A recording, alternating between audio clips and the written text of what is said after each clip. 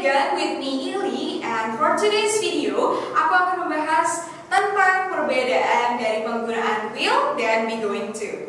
Okay, so if you guys curious about the video, please check it out.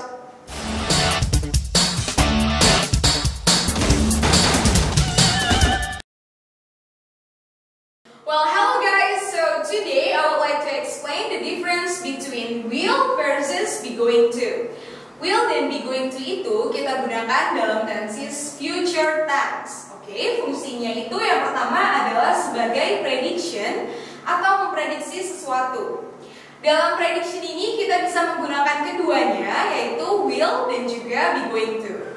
For example, according to BMKG, it will be a volcano eruption. Oke, okay, next example adalah it is going to be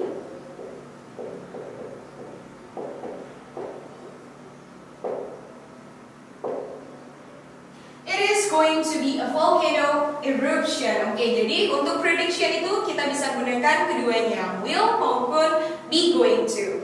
Lalu yang kedua, we have plan. Oke, okay, kalau kita ingin merencanakan sesuatu, kita harus menggunakan be going to. For example, she is going to Australia next month. Dia akan pergi ke Australia bulan depan. Oke, kita lihat di sini kenapa pakai is. Karena is merupakan to be dari subjeknya she. Kalau kita ganti isi she-nya ini menjadi I, maka be-nya itu berubah menjadi am. I am going to Australia next month. Alright, yang ketiga kita punya willingness. Kalau willingness ini pasangannya itu udah pasti dengan will. So di sini example-nya ada short dialogue yang A ngomong gini, This bag is so heavy. B-nya langsung ngomong, I will help you to carry that. Aku akan membantumu untuk membawanya. So untuk willingness, you have to put will right here. So I guess that is all for the explanation about will versus be going to. I hope you guys understand. Well, yo, sekarang ada exercise-nya nih buat kalian. Oke, okay, yang pertama itu adalah plan for next week. I blank go to Bandung.